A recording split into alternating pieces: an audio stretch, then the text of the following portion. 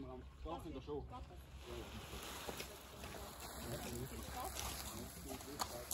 Ich bin jetzt gerade im Bild.